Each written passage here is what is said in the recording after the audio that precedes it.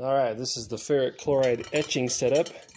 Now that we have our blade up to 1500 grit, we've got a nice little canister, well, biggish canister, got for $5 at the dollar store.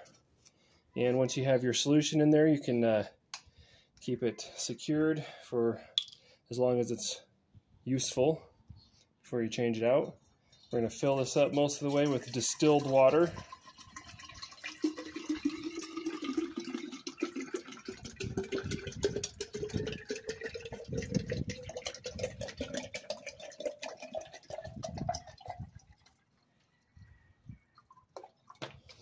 Don't want to use tap water if you can.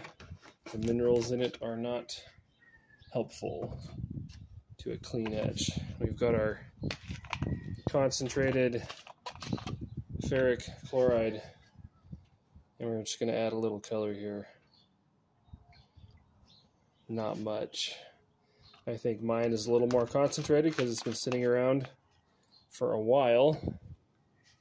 But it doesn't take a lot you want a pretty uh, light solution so that the uh, carbon steel is etched and the nickel content steel is left less affected. And there we go.